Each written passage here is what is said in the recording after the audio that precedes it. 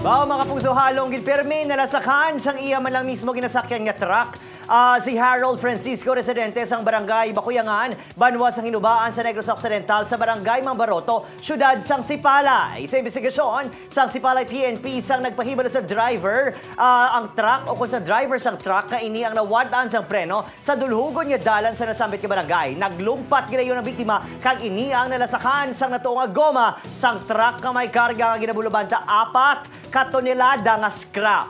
Ang driver ng truck ang ginkilala naman kay Resdi de la Peña, 34 anyos, kag residente man sang barangay Bakuyangan, Hinubaan. Padulong ang truck sa syudad sa Bacolod sa natabo ang aksidente. Ginhingago pa ang dalo ng biktima sa Merceditas, Montilla District Hospital, apang gindeklara nga DOA condemned on arrival. Yara na karoon sa kustodiya sa kaprisan ang driver sa truck.